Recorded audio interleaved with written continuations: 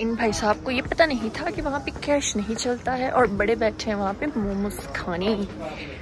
दोस्तों, सामने हो चुका है अंधेरा और बादल भी आ चुके हैं। फ़ोन में इतना लग नहीं रहा है, ऐसा लग रहा है कि थोड़ा हल्का सा पाँच छः बजे का टाइम है, पर एक्चुअल में साढ़े सात बजे के आसपास हो चुका है टाइम और ये यहाँ पे कंस्ट्रक्शन चली है काफ़ी टाइम से। और दोस्तों, वो थैला दिख रहा है आपको। एक्चुअली उसी थैले में है हमारा आज का थोड़ा सा डिनर हमारे पास दाल बची है दिन में और अभी हमारा मन नहीं है। हमारा मन बिल्कुल नहीं है कि हम लोग एक फ्रेश डिनर बना सके और हालत भी नहीं है। तो चपातियों के लिए आटा तो मैंने रेडी रख दिया था। पर फिर सोचा कि थोड़ी सी हम चाट बनाते हैं तो उसमें हमारा चाट का सामान है सारा हो चुका है अंधेरा। और मेरा फेवरेट स्पॉट है उधर सामने ही।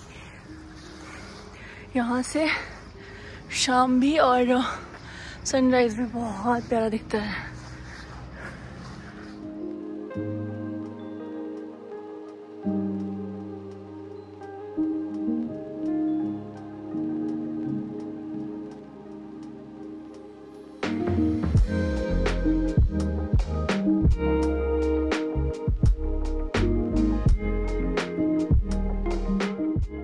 फाइनली इतनी चढ़ाई चढ़ने के बाद हम पहुँच गए अपने चौक पे और अब हम अपना लेफ़्ट टर्न लेके राइट डायरेक्शन में पहुँच जाएँगे। और ये अब हमने अपना वो लेफ़्ट टर्न ले लिया है और हम अभी राइट डायरेक्शन में हैं टुवर्ड्स आर रूम सामने का आप नज़ारा देख सकते हैं, बहुत ही ज़्यादा बेहतरीन शिमला की खूबसूरत दीवार के बीच में। आप देख सकते हैं, मेरा भाई अब इसने मेरे पास थैला पकड़ा दिया है। ये बहुत चलाट बनता है, जहाँ इसको टशन मारना होता है, ये वहाँ थैला नहीं उठाता है और वहाँ पे थैला मुझे पकड़ा देता है। और हम गए थे थोड़ा ऊपर तक का जैसे कल जब मैं आ रही थी बाज़ार से और मैं उतरी और फिर मेरा भाई वहाँ पे खा रहा था मोमोज़ और पर इसे पता नहीं था कि उस दुकान में मोमोज़ तो खा सकता है, पर वहाँ पे ऑनलाइन ही चलती है पेमेंट, वहाँ पे कैश ही पे करना पड़ता है आपको तो उसे पता नहीं था तो वहाँ पे शुक्र मैं मिल गई इसे, मेरे पास भी कैश नहीं था, मेरे पास थे सिर्फ़ फिफ्टी रुपीज़ तो फिफ्टी रुपीज़ मैंने दे दिया उसके बाद हमने बोला अंकल को कि ट्वेंटी रुपीज़ आपको कल आके देते हैं। तो फिर ये गया था ऊपर। ये वही ट्वेंटी रुपीज़ रिटर्न करने गया था, पर वो अंकल भूल गए थे।